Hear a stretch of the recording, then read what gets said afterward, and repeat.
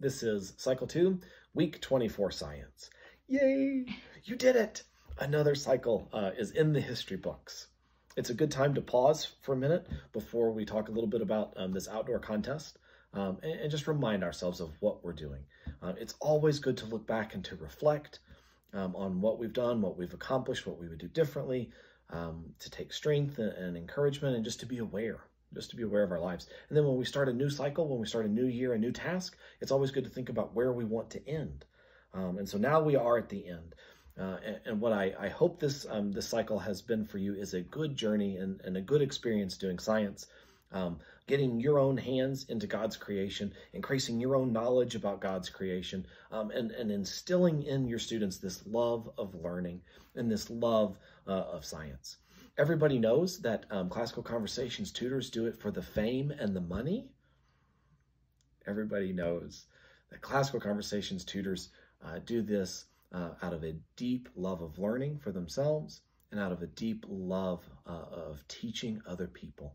It's really, in my opinion, it, it's really an outgrowth of your love for your own students that you homeschool and your willingness to share that love and that experience and that talent uh, with other families. Um, and, and I know that, that many families have been blessed by the work that you have done this year. And so I just want to take a second and just say congratulations. Uh, you've done a good job. I know, and I hear in some of the comments that science is difficult, science is intimidating, science is hard. Some, some people have even said, I could never do science uh, without these videos or without this help.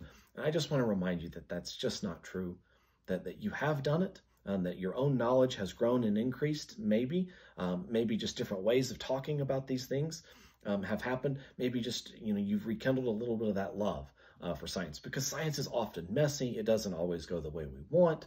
Um, sometimes the, it's because, you know, things that are, were just designed wrong. We didn't do it right. Sometimes, you know, outside variables just impact the experiment. And that's real life for real scientists. Um, and so I have a, a, deep desire to understand how the world works. I have a deep desire um, and, love of science. It, it's my passion. It's my profession. And so it's been a lot of fun uh, doing these videos for Cycle 2.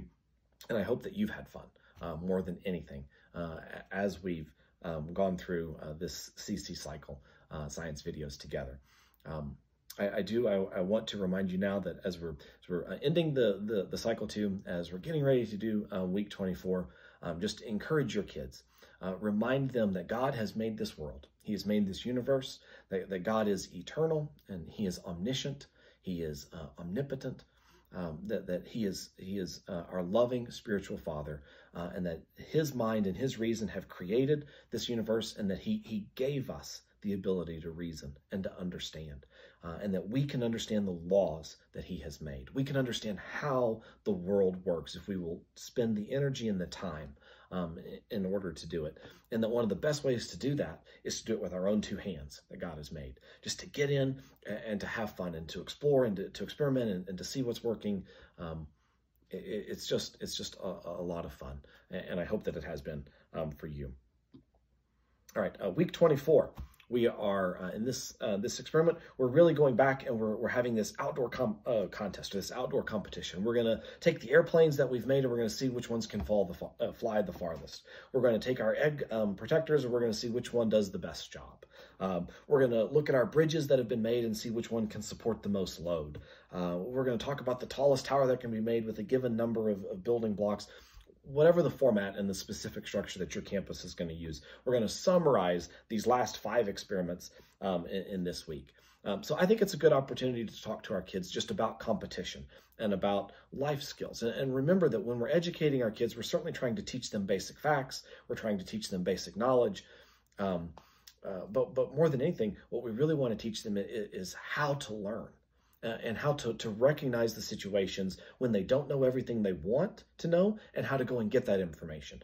Uh, how to have the emotional maturity to handle um, you know things that don't go the way we want and, and to be gracious about it. How to um, to compete how to be good um, how to have good sportsmanship. Um, and because there's a little bit of a contest set up this week that might be relevant uh, and something to remind um, our, our, our, students your students about um, how they work. And then beyond that Um, for, for the kids who, who want to, to, to talk more specifics, you know, maybe after this, this time, maybe um, after foundations is over or, or in whatever venue you have, you, know, you could talk about the specific things. Like what was your favorite experiment that we did this year?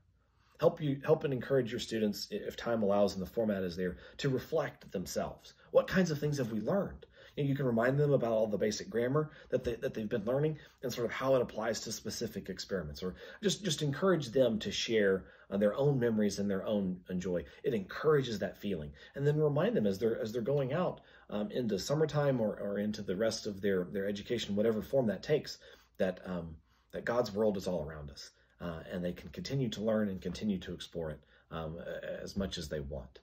Uh, science truly is uh, fun. It is my passion, um, and and it's just a lot of fun um, to get our hands uh, messy and, and, and to do science together and to have fun uh, while we're doing it.